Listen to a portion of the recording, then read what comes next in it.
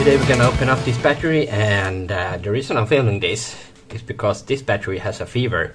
I just charged it up and it's not super hot but it's definitely like 15 degrees over room temperature and that is bad.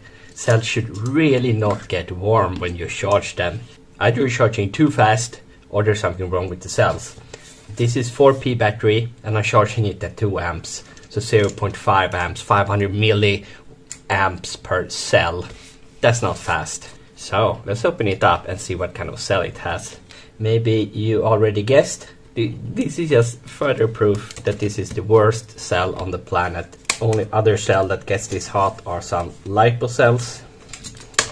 Yeah, of course it is. Of course it's the Lilac M26. It gets super hot. Now it's almost burning my fingers.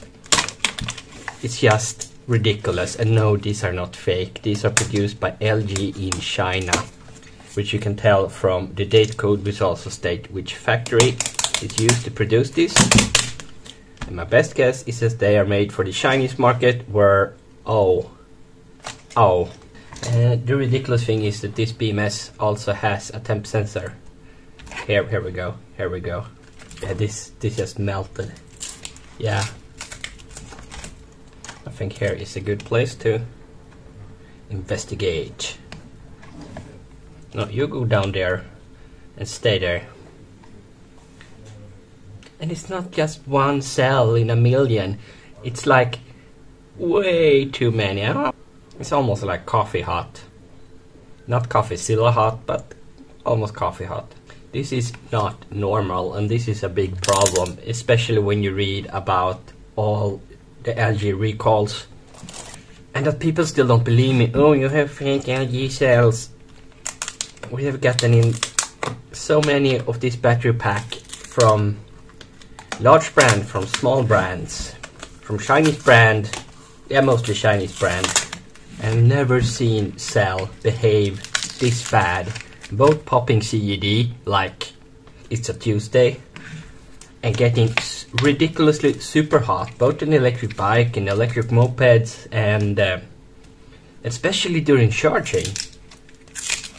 If it gets a little hot during high discharge, yeah, sure. And here we have the temp sensor, and it's for 65 degrees.